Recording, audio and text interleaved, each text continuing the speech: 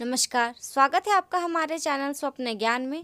आज के इस वीडियो में हम जानेंगे, यदि आप सपने में देखें कि आप किसी से लड़ रहे हैं और आप उससे हार जाते हैं तो इसका क्या अर्थ होता है?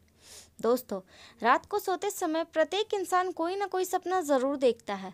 स्वप्न शास्त्र के अनुसार सपने देखना महज संयोग नहीं होता, यह सपने भविष्य से जुड़े अच्छे और बुरे संकेतों को दर्शाते हैं। स्वप्न शास्त्र के अनुसार इंसान जो भी सपना देखता है, उनका संकेत आने वाले भविष्य को लेकर होता है।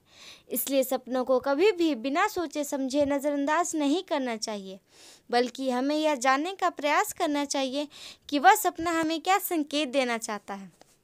तो चलिए हम अपने विषय की ओर बढ़ते हैं।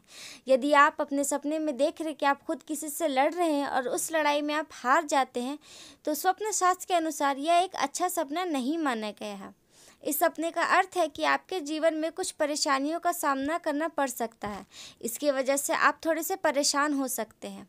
यह सपना इस बात की ओर इशारा करता है कि आपके जो शत्रु है, जो दुश्मन है, वो आपको कुछ परेशानी पहुँचाने की कोशिश करेंगे। परंतु आप डरिएगा नहीं, आप हिम्मत से उनका सामना करिएगा।